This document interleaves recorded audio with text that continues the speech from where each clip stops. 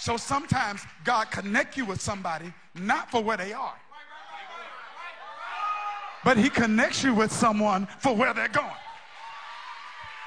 And some people are living with the attitude of an opportunist and not assignments.